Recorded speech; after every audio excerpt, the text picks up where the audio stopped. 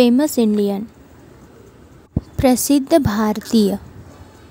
यहाँ पर हम लोग कुछ पर्सन्स के बारे में जानेंगे जो भारत में बहुत ही प्रसिद्ध हैं। गिवन सेंटेंस को हम लोग अच्छे से पढ़ेंगे और उसके बारे में जानेंगे कि यह किसके बारे में कहा गया है और उस फ़ेमस इंडियन का नेम हम लिखेंगे। फ़र्स्ट है he was the sultan of Delhi he was the nephew of Jalaluddin Khilji means वह दिल्ली के सुल्तान थे और वह जलालुद्दीन खिलजी के भतीजे थे। फ़र्स्ट का आंसर होगा, अलाउद्दीन खिलजी। ये दिल्ली के सुल्तान थे और जलालुद्दीन के भतीजे थे। सेकंड है he was the court poet of king Harshavardhan his work is Harshacharita वह हर्षवर्धन राजा के दरबारी कवि थे और उनका लिखा हुआ हर्ष चरिता एक बुक है। वह कौन है? वह है Bana Bhatt. Number three he was a physician he wrote a book named after his own name वह एक चिकित्सक थे और उन्होंने अपने नाम के ऊपर एक बुक लिखी थी। वह कौन है?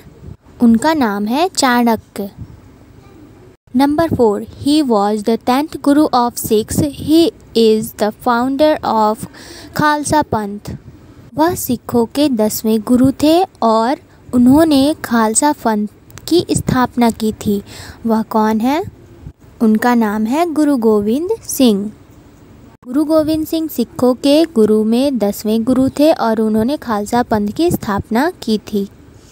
Number five he was born in West Bengal he oppose sati pratha उनका जन्म पश्चिम बंगाल में हुआ था और वह सती प्रथा के खिलाफ थे, यानी कि जो औरतों को चिताओं के साथ जलाया जाता था। उनके पति जब मर जाते, उनसे पहले उनकी चिता में औरतों को पहले जला दिया जाता था। यह प्रथा सती प्रथा कहलाती थी और यह इनके खिलाफ थे, यानी सती प्रथा इनको पसंद नहीं थी।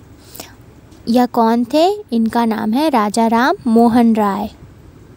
Number six he was the founder of Maratha kingdom he was born at Pune या पूना।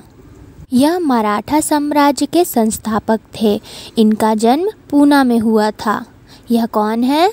इनका नाम है Shivaji. Number seven he was one of the greatest industrialist he is also called father of Indian industry यह एक बहुत ही महान उद्योगपति हैं और इन्हें भारतीय उद्योग का जनक भी कहा जाता है।